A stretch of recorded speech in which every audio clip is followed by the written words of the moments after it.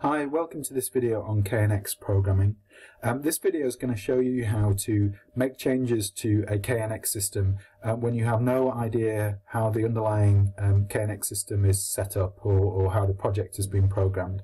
Um, so an example might be if you've just moved in somewhere and um, there's a KNX system there or you've had one installed but it's too big, you don't have a, a, professional license and there are too many devices on the bus for you to open up the project which the installer's uh, given you. So in my instance what I have is I've got a, a light switch which I want to reprogram to switch on a different light to the one that it's already switching on. So I'm going to show you how to do that but this can be kind of extended to any device uh, that you have. So first things first is open up ETS5 um, I'm going to assume that you've got a Lite license. Um, you have to go through the, the training, um, but you can get a substantial discount um, from the KNX Association for the Lite license. And this allows you to open projects with up to 20 devices, which actually makes it a reasonably useful, uh, useful tool. So the first thing we're going to do is set up a new project. Switch one. And we're going to create a new project and uh, it opens up. Now you can see there's no information in here. So the first thing we want to do is identify the uh, programming address for that device that we want to reprogram. So I'm going to do that by opening up the diagnostics tab here. Just make this a little bit larger. And I'm going to um, put, I'm going to do the, um, look for individual addresses which are in programming mode. And I'm just going to start that and you can see at the moment there are no devices on the bus which are in programming mode. So I'm just going to go and press the programming button on the device um, so that we can discover what its address is.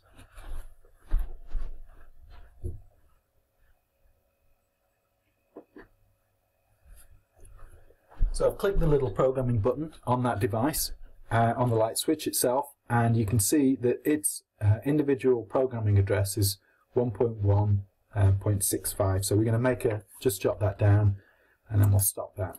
So now we've discovered the programming address for the light switch. Uh, the next thing to do is to discover what the group address is that we're going to program to it. So to do that, we open up the diagnostics toolkit. Uh, let me just open that up a little bit more. And what we're going to do is we're going to use the group monitor function. And I know that there's there's already a light switch which turns on the light that I want, which is different from the light switch which we're reprogramming. So to discover what the group address is um, for that particular light, I'm, I'm going to run the group monitor, switch on the light switch for the uh, of the light, the light switch that switches on the light that I want to know, and we'll see um, what the group address is for that. So I'm just going to start the bus and go and turn that on. I'll turn it on and turn it off again. Right, so let's see what we have here. So we have, um, it's these two. Um, these two are just different um, uh, pieces of information which were uh, telegrams which are on the bus. Um, prior to that, this one's a, temperature. I'm not sure what this one is, but this is the um, the light switch uh, that I just switched on. This is the destination address. So you can see the value in, of info is on. And then we have 1.1.1, which in this case is the lighting actuator, has sent back a 1 for, uh, sent back to the group address 1411 and on. And this is the feedback um, uh, telegram. And then where I turned uh, the light switch off, you can see this is the source address for the light switch.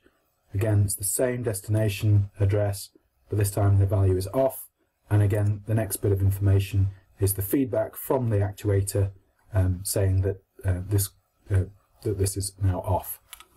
So we're going to jot down one for 10 um, because that this is the uh, um, the destination, the group address that we we want to program for our light switch. Okay, so the, we're going to close that down, get rid of that, make a little bit more space. So um, first thing we want to do then um, is we're going to uh, create that uh, group address um, that we want to uh, to uh, the program. Sorry, we're going to create the programming address for the device. So first things first, we're going to uh, create a house. We're going to add building parts, and then we're within the house we're going to add upstairs, um, and then an upstairs we're going to add a room, which is my office. And then here now in my office, we can now add the devices, which is the light switch that we're interested in. So in this case, it's a one gang uh, Jung uh, switch. So we're just going to grab that over there and drop that in. And so you can see that we have this one device in here. It has one um, channel at the moment, uh, rocker switching. And you can see that we have uh, um, group objects and parameter. I'll just get rid of the catalog now that we've done that. And what we can do with this is now we can use the parameters and this allows you to change the general function of the uh, the object, in this case the, the switch.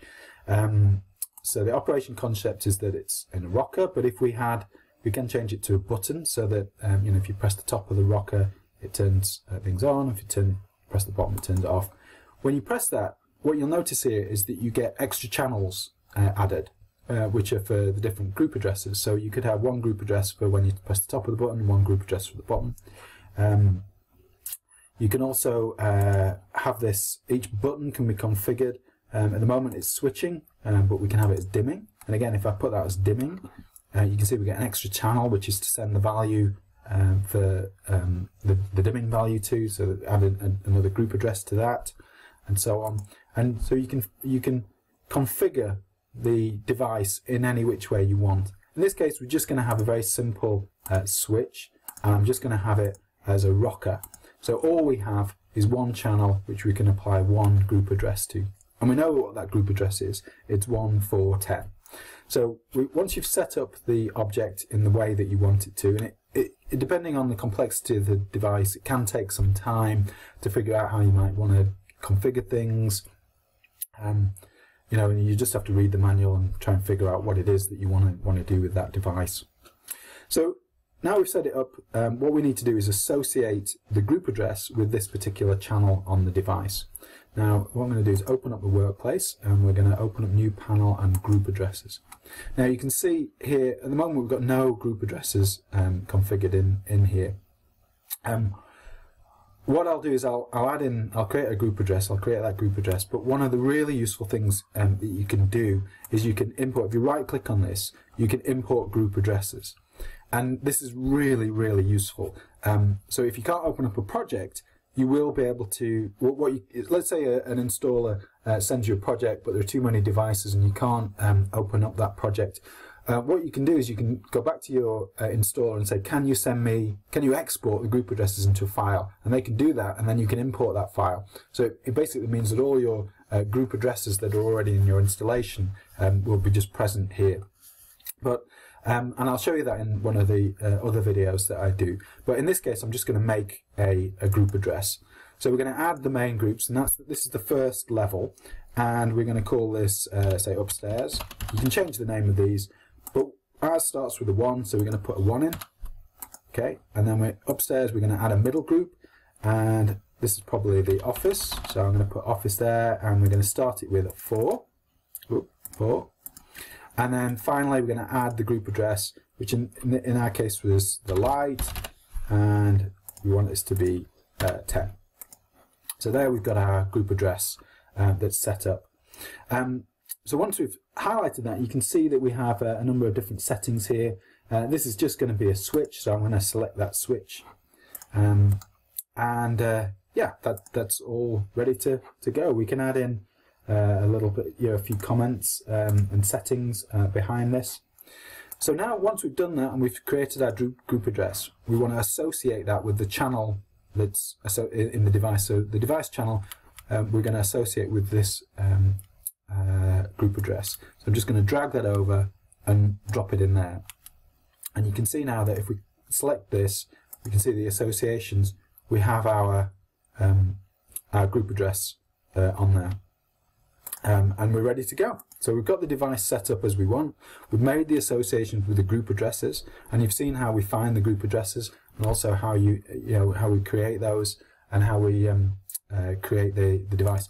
One thing I realised I've not done here is that this device still has the its programming device uh, address of 1.1.1, and we know that our device is 1. Point, or the switch on the wall is already 1.1.65. So by selecting that um, over on the right hand side, we can see here we can change this to 6.5. So everything is now ready. Um, we've got the right address, we've got the right um, software all lined up, we've made the associations in the appropriate channels, and now we're going to hit download. We'll just hit download um, uh, individual address.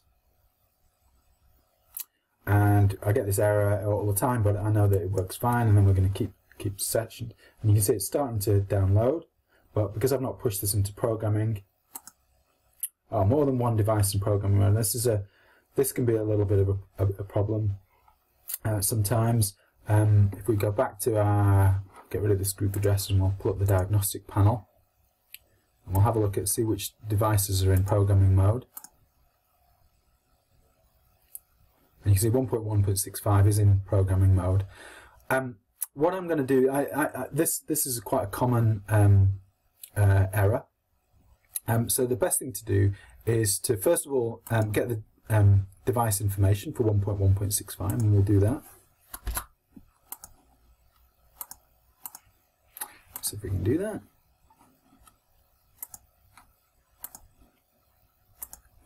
There we go, you have to stop the programming mode. Um, so I'm going to select the device info and I'm going to read 1.1.65 just so I know what the um, uh, how it was originally set up.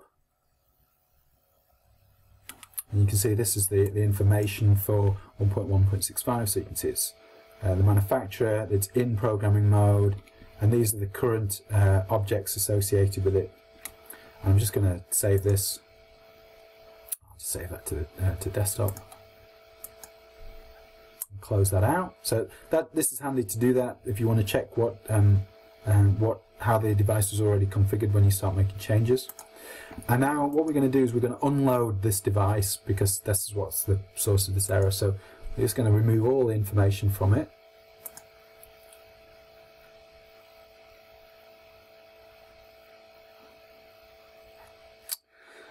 Oh, so we've got one more than one devices in program now. Okay, I'm just going to go and um, get rid of, uh, I'm just going to push the programming device on 1.1.65.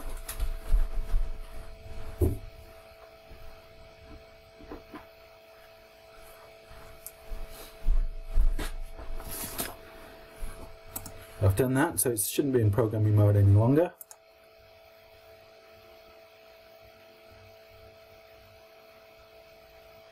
And we'll press the programming button again.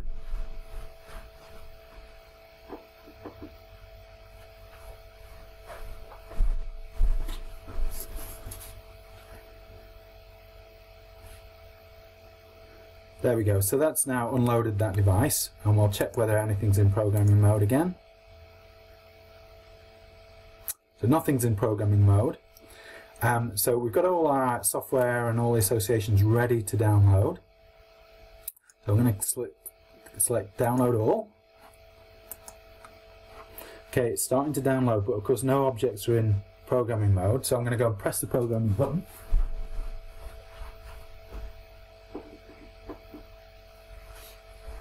So the device is now in programming mode and the information is being downloaded to it.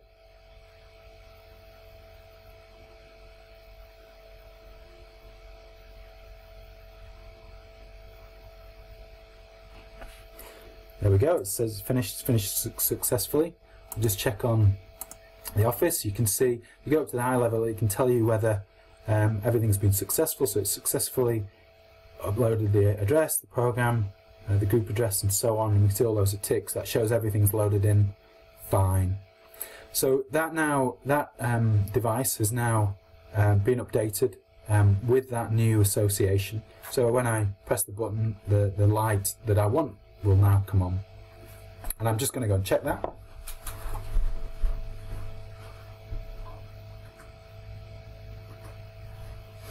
Yeah, and sure enough, the uh, the light that I want now comes on.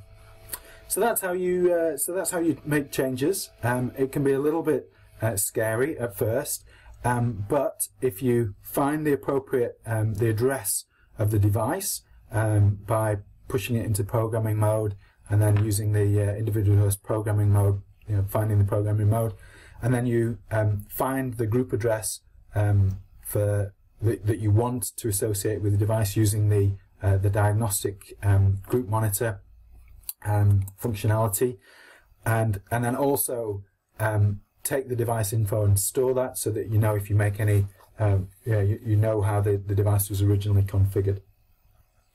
So that concludes the uh, this video. I'm going to um, show you, uh, uh, my next video shows how to make a, a more complex um, uh, KNX uh, installation or how to make changes to a more complex installation when you've got the uh, ETS Lite um, license. Hope you can join me there.